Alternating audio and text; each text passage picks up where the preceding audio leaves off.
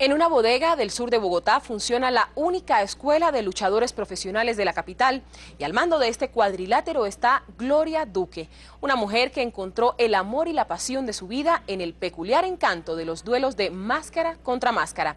Sus amigos son el monstruo del pantano, el rayo, Destroyer y el jaguar y todos ellos la conocen como la mamá de los luchadores.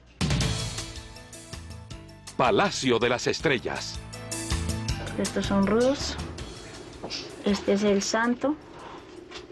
La adolescencia de esta mujer no pasó por las muñecas, pasó por los ídolos de la lucha libre. Tanto que Gloria Duque terminó jugándose su futuro en el ring, luchando con el nombre de la Tapatía de México. No da la cara porque las veces que jugó su máscara nunca la perdió y se retiró invicta. ¿Algún día va a jugar la máscara? No, ya no, no, no la pienso jugar me, han dado varias, en las luchas, me han dicho varias veces que juegue la máscara, pero yo no, no la he querido jugar. Aunque dejó de practicarla profesionalmente, la lucha libre sigue siendo su pasión. Por ello, aún oculta su identidad y a diario examina las peleas del último turno al ring, pues ella se resiste a aceptar que ese espectáculo desaparezca. Así transcurre la vida diaria de Gloria, una mujer que lleva dos vidas paralelas. Una como legendaria luchadora y otra como la empresaria de la lucha libre que desarrolla en este coliseo, en donde prepara a los futuros luchadores. Esto es como un hobby porque no...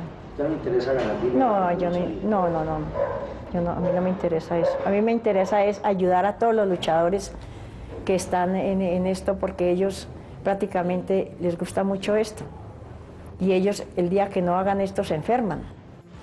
Aquí, en esta bodega al sur de Bogotá, se levanta casi que de incógnito el Templo de las Estrellas. De alarido en alarido se forjan los nuevos campeones.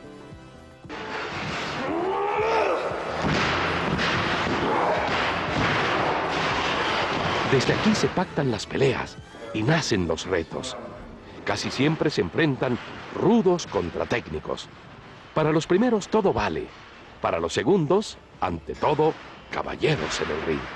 Este es un deporte que tiene la violencia controlada por su reglamentación y todo, aunque digan que es muy violento, tiene la violencia. practicando el ¿Qué te pasa? Espérate, al coliseo el sábado, ¿qué te pasa? Deberías estar practicando luchar en vez de estar dando entrevistas como reinas de belleza. El sábado te vas a arrepentir. Lucha Y comienza el espectáculo. La lucha libre tiene su público. Aquí se trata de ahogar penas y deseos reprimidos. Aunque parezca violento, es un deporte que no deja muertos y a veces se juega más a la pantomima que a la agresión misma. El reto entre Comando y Halcón Gemelo se dio. Las barras se dividieron. La pelea fue ardua. Sin embargo, para el juez no hubo ganador. Todo terminó en empate. Nosotros no perdimos. Los ayudó el árbitro, se confabularon con el árbitro. Después de los silletazos, ellos fueron los que se subieron, no fueron capaces de seguirnos guerreando en el piso. El árbitro ya dijo que, es que habíamos empatado, no sé por qué, pero pudimos demostrarles, nosotros les yo les ofrecí a ustedes emociones en este, en este escenario y creo que las tuvieron. Pero esos impulsos de venganza que produce la lucha libre se aplacan cuando aparece Gloria Duque, la mamá de los luchadores. En medio de los enterradores, destroyer, comando, halcones, psicodélicos y alacranes, cada sábado termina una función de la lucha libre. Espectáculo que puede servir de terapia para despojarse de odios reprimidos.